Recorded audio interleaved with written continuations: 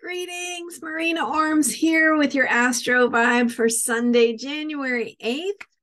Today, uh, we're talking about the planet Mars and thinking about what it means to have Mars in Gemini, what it means for you, for action, for getting things done, and for finding your courage in 2023. Uh, today, the moon is also in Leo, which helps us uh, think about sharing and shining our light and uh, being creative and a, a force for good uh, as we think about what it means to radiate our truth, our truth and our true selves into the world. So, uh, so thinking today about the planet Mars, and um, Mars is the warrior planet. It is the planet of action, of courage. It is that part of us that when we are on a battlefield literally or figuratively that uh, we need to be able to act from uh, from a place of instinct, from a place of drive, from a place of knowing who we are, because Mars is not the energy of thinking things through. it is the energy of action. It's the energy of doing what needs to be done. And when the planet of action and courage is in the sign Gemini, which is all about thinking and processing information, it does give us a little bit more of this need and ability to think about what we're doing, to to process information as part of the way of moving forward. And um, so, of course, Mars is about how we get things done. It is. Uh, it's about uh, what how we need to uh, take action to move on things, to be assertive, to not hold back um, to to be uh, assertive rather than aggressive in a harmful way, right? Like not um, just plowing over anything that's in your path, but actually taking strategic action, knowing what you're doing and why you're doing it. And when we are acting from a place of truth, of our own uh, empowerment, uh, sometimes that uh, can be a little um, uh, we can have some hesitation uh, because it's vulnerable. So, uh, so taking action from that place of truth takes courage, and it is the action of finding that courage, the process of finding that courage, that helps us move authentically in the world and do what we're here to do. So, um, so we've had Mars in Gemini since August, and normally, uh, Mars uh, Mars takes two years to go all the way around the zodiac. It's a little bit slower than um, Mercury and Venus, and of course the Sun, uh, which you know is moving around the zodiac, even though it's the center of the solar system. That's how the zodiac works. Um, but when uh, Mars uh, just takes a little bit longer, it's a little further out in the solar system. Uh, its orbit is bigger and it takes a little bit longer. So Mars um, typically is in a sign for approximately two months uh varies a little bit but when mars goes retrograde as it did in gemini what happens is it goes takes about 2 months going forward in gemini stations retrograde to go backward back over territory it's already been through in Gemini, and then stations direct to go forward in Gemini again. So, what you end up with is a situation we have now where Mars is actually in Gemini for seven months uh, instead of the normal two. So, uh, so every couple of years, Mars goes retrograde like that, and uh, and we have this extended stay of Mars in a particular sign a couple of years ago in 2020, we had uh, Mars in an extended stay in Aries that actually happened uh, where Mars was in its own sign in in that sign of action and courage and risk taking and uh, and uh, aggressive actions uh, during the January 6th insurrection. So um, so, what does it mean to have Mars in Gemini for an extended stay? It means that this part of us that is moving forward in the world, that is needing to take action and uh, live, live and move from our true selves, our place of empowerment, our authenticity, um, being vulnerable in in the sense that we are showing up fully as who we are that takes courage in the area of uh, information and thinking and thought processes and ideas and uh, mental processing. So, the ways that you need to take action are on information and uh, gathering information, being proactive about informing yourself, about learning things, about uh, gathering data about whatever is showing up in your life. Um, and then with Mars retrograde, which um, uh, so Mars went direct through Gemini from August until the end of October. And then on October 30th, Mars station retrograde. So since then, Mars has been retrograde, meaning that every time we try to move forward, we might feel thwarted. We might feel frustrated. We might feel like things are just not um, working the way they should. And then you add into that the fact that Mercury stationed uh, retrograde. And so we now have both Mars and Mercury retrograde. Mercury, as the ruler of Gemini, is having a, a an especially uh, direct influence on Mars in terms of that Gemini energy, the information processing, the ideas. So, so Mercury being retrograde kind of makes Mars retrograde even more uh, frustrating or um, difficult to move forward on. Uh, and and with Mercury in Capricorn, uh, I've been talking a little bit about this about how uh, with the Capricorn energies, we are in the Capricorn moon cycle. We have uh, the Capricorn. Um, themes uh, happening at, at, this time during this Mercury retrograde. Mercury, of course, is retrograde in Capricorn. So there is uh, the, all the normal stuff that we have when Mercury is retrograde. We are uh, in a time of review, reflection, um, reconsidering, right? Like uh, there's a need to go back over things you've already thought through, things you've maybe already made a decision on, to go back and reconsider, um, to uh, reevaluate, to go deeper into uh, some places where you've already been, to review and think about whether that's really still how you want to do it? Do you want to uh, rethink things? Do you want to do them differently? Do you want to uh, get more clear on your thinking?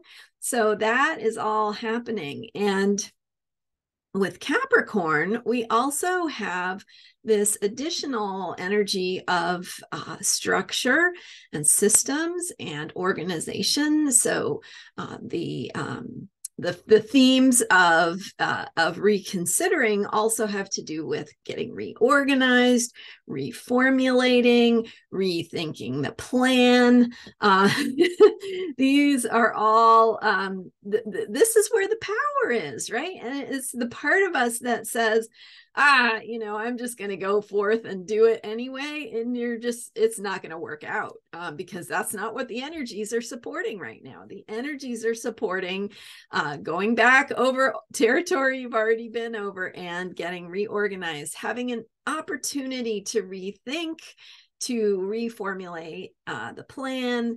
And um, of course, we can see that happening with what's going on in the news. If you've been paying any attention um, with the uh, electing the Speaker of the House of Representatives, and they keep holding uh, these votes, right? And nothing is moving forward and nothing is happening. And so it's just a reminder that what really needs to happen is that we need to rethink uh, where we're at. We need to rethink our strategy. We need to get reorganized. We need to um, reconsider our plan. So we can see that happening in uh, the real world in the news and what's going on. It's uh, also showing up in our lives in whatever way is uh, particular for you and what it is that you're thinking about and planning and working on.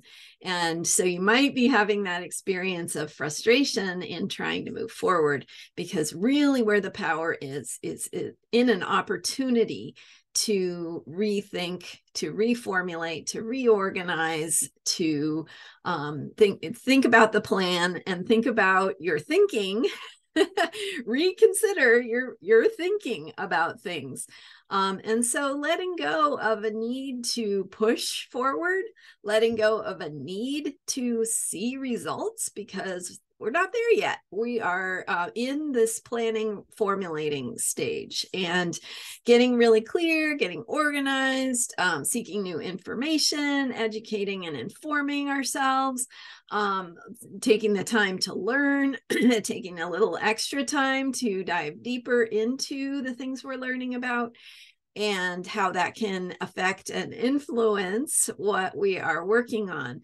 And then uh, this week, Mars will be stationing direct in Gemini. Uh, so January 12th is uh, the is the Mars direct station, and uh, so so we're going to have Mars slow down. Um, it slows way down and kind of hovers in one spot, and then very slowly begins to move forward again, and that's Mars stationing direct. Um, so as Mars begins to go direct, we're going to start to have a little bit more forward movement, slowly at first, and then gathering steam as we go. Um, that uh, energy of Mars uh, beginning to move forward is still impacted by Mercury being retrograde. So on um, the 18th, January 18th, Mercury will station direct, and then we'll get a little bit more momentum going. Um, so, uh, tentative, I would say, with Mar- Mars stationing direct, we're going to start to have some tentative action, some tentative movement, some some hesitation, but also some dipping toes in the water, and that's where we really want to start as we begin to move forward with uh, Mars uh, beginning to slowly move direct. Um, it is still in Gemini. We are still in the realm of information, ideas, thinking. Um, so again, sort of putting a new idea forward, testing it, uh, dipping our toes in the water, tentatively um, seeing what people think. How does it feel to share that idea? And then, uh, of course, continue to refine it and get clear about the words we want to use and the messaging we want to use uh, with whatever it is we're working on so that uh, so starting to to have more forward movement more of this action and courage showing up in our words in our voices and that has been um, a big part of the mars and gemini energy is themes of looking at uh, what does it mean to have courage in terms of your voice? Speaking out loud speaking up uh, taking a stand through uh, saying what you need to say. And um, finding the right words is part of that. You might have also uh, writing projects or communication that you're working on. Maybe there's communication happening in a in a relationship or multiple relationships in your life. And those themes of communication and getting the words across are going to continue you know again right now with mars retrograde Mercury retrograde, we are still reformulating what we think, how we want to talk about it. We're trying things um, but we're going to have to keep going back and and getting clear again about what we want to say and then with mars stationing direct we can uh, begin to tentatively have some a little bit more progress a little bit more traction and forward movement slowly at first um, and then uh, we've also got Uranus that will be stationing direct. It will be the final uh, of the retrograde planets, currently retrograde planets, uh, to station direct. Um, and then uh, all of the planets will be direct for a time period. So uh, so during that uh, moment of planets being direct that is when we want to think about moving forward on our creative projects on things we're taking action on on um, living and uh, you know, being in our courage, being and living according to our truth, uh, stepping into new uh, senses of who we are. So, uh, identities, uh, sense of self. Um, and there's so, a lot of Aquarian energy coming up this year. Excuse me. so in uh, toward the end of january we're going to have a new moon in aquarius during which we'll have four planets in Aquarius Sun, Moon, Venus, and Saturn. Um, that Aquarian energy is really going to give us a taste of what things look like as we step into new possibilities, new ways of being, new ways of thinking, thinking outside the box, um, getting uh, new ideas about old problems um, and new way, new approaches. So, uh, and then later this year, uh, in March, Pluto will go into Aquarius. Pluto is way way far out there in the solar system and is uh you know moves very slowly so spends many years in a sign. Pluto going into aquarius gives us a background theme of uh this aquarian energy which is about change. It is about the future. It is about new possibility and a breath of fresh air. And uh, so we really want to um, take advantage of this kind of collective opportunity to to open the window let in the fresh air rethink things now. So right now we're in that rethinking phase. And uh you know the the power here is the ability to let go of the thinking of the past and that is um i can't underestimate or i can't uh i can't well what i don't know what the word is but we cannot underestimate enough how powerful um uh th- that um it will be to let go of the thinking right? We've been through a lot and uh in in the past few years since 2008 pluto went into capricorn things have been hard just hard. And that is one of the hallmarks of pluto in capricorn is it's taking us into kind of the winter of the soul. And uh and so we get kind of in that stuck feeling place. We get in this retractive um, uh, feeling uh, like things are hard and we feel powerless and it's just there's a feel like, like there's an internalized uh, feeling of limitation or poverty or constriction. And um, so there's there's a part of us that's going to be challenged to actually let go of that way of thinking as we um, uh, let in that breath of fresh air and open to the change that uh, is going to be part of the next set of energies. And the beautiful thing about the planets is they tell us how things will change and that nothing is forever. So, um, so what is it you're needing to let go of? How can you actively, proactively let go of old thinking? Old patterns and habits of how you think about things, of your expectations, your assumptions, your beliefs about the way things are and the way things must be.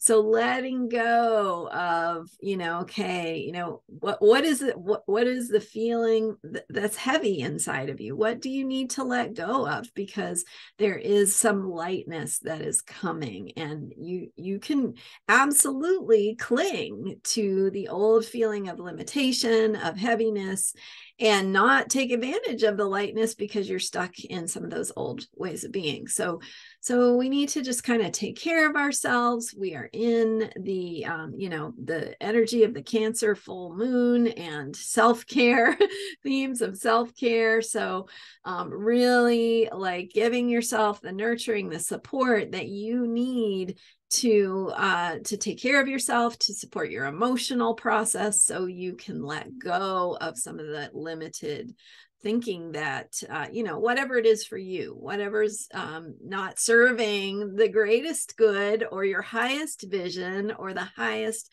possibility for for who you can become how you can be in the world and the life you can experience. And that um, will be both on the personal level and on the collective level as uh, you know we we need to create a critical mass of us who are open to these new possibilities in a really positive way thinking positively about the future because then we can ride this wave of the aquarian energy to say okay things are going to change and here's what direction I want that to go in. Here's how I want that to look.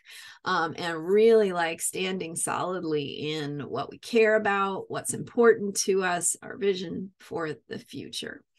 So, what is this? Uh, the power of this Mars as it um, goes forward in Gemini is to embrace new ways of thinking, to embrace um, uh, the ideas and the uh, open mind that's the curiosity that's going to make us ready and available to take advantage of new ideas and move on them and implement them as uh, the planets begin to one by one move forward and go direct here um, and that courage is going to continue with Mars still in Gemini through uh, late March.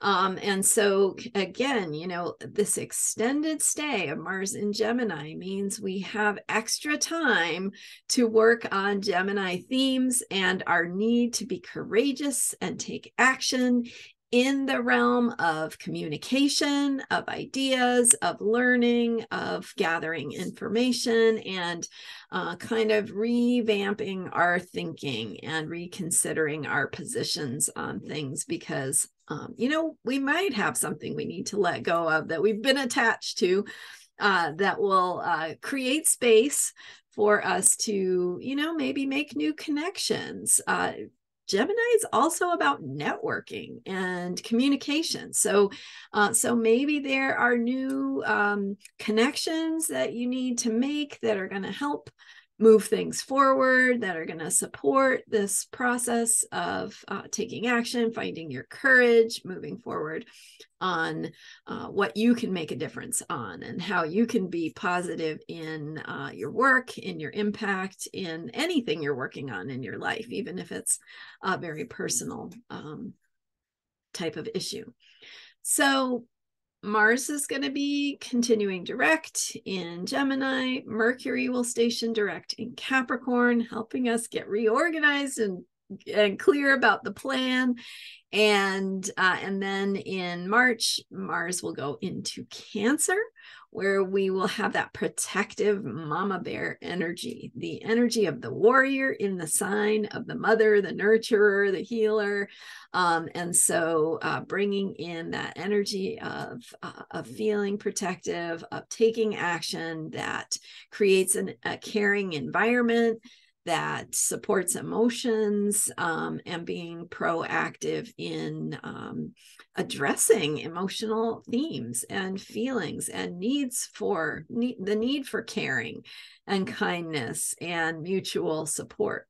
Um, certainly with the, with Mars in Cancer, we can also have that reactive energy. So uh, uh, acting from emotion. So Mars is very spontaneous. It's very direct, right? It's the energy of the warrior who needs to act without thinking because time is of essence when you're being attacked. Um, and then when Mars is in Cancer, we can uh, we can act, we can react, uh, we can act without thinking from a place that is emotional. So that can be anger, lashing out. It can be um, from fear, and so we want to take care of ourselves because that allows us to act from positive emotions, right, and to support the movement of emotions that clears the space that we need to do for healing. And uh, so so think of Mars energy instead of being uh, the the crab claws and uh, being defending and protecting and snapping and harming whatever comes near you to um, to more of the uh, the shell, the crab shell that is protecting the vulnerable insides and giving you space to attend to your inner needs and do the healing work that you need to do and uh, feel your feelings and process your emotions because that's what ultimately helps us to heal and to be our best selves. Uh, if we're if we're just um, uh, being taken over by our emotional state, uh, we're not as effective. And so emotions are really important, but they need the right time and place they need respect. Uh, we need uh, to feel and process our emotions in the appropriate places, create boundaries for ourselves so that we can do that work of attending to our own vulnerable selves. Um, if that's uh, journaling or talking to a friend or just taking some space for yourself, take care of yourself in the ways that you need to to support um, your process. And that allows you to be more powerful and effective to move forward as a mama bear, as a defender and protector of vulnerability and of the needs of yourself, of the people you care about, needs of people in the world, feeling um, that uh, ability to be a someone who is caring and providing a caring world, contributing to a caring world that uh, cares for people and supports them in having their needs met. So, that Mars energy is really asking us to think about courage, to think about who we are, how we think about things, where we are um, in terms of our our beliefs our expectations our assumptions our thinking um, and to uh, ask ourselves what uh, what needs to change about that what needs to be reevaluated reformulated uh, reconsidered and then taking action on that as Mars uh, begins to station, well, as it stations and begins to slowly move uh, direct, and then uh, more traction as we go forward. So there you go. Um, hope that gives you some good information uh, as Mars continues through 2023. It's going to progress through the signs um, beginning, of course, to move faster. It, it won't spend as long in other signs as it has in Gemini. It's going to move through Cancer, Leo, uh, Virgo, Libra. Um, Scorpio, Sagittarius, all uh, it's going to hit all those signs as we go through the year. So we'll have Mars and courage getting uh, developed as it evolves through the zodiac signs, which is uh, what is uh, so wonderful and cool about astrology is that it helps us see what we're learning about action, what we're learning about courage at this moment in time. And right now, uh, we are learning about our thinking and how to move forward with communications ideas words information and uh, and planning uh, think, thinking about our plans. So uh, perfect time to formulate your plans reconsider things that you may have already put in motion or have been thinking about putting in motion. Just really uh, deepen your thinking about what you want what is possible opening to new possibilities you haven't even considered yet. So, as you reconsider, you might let go of some of the heaviness or restriction of the past, opening the door to new possibilities. Thank you so much for being here and for your support. Uh, learn more about me and how to work with me at astrologyheals.com. You can read my books.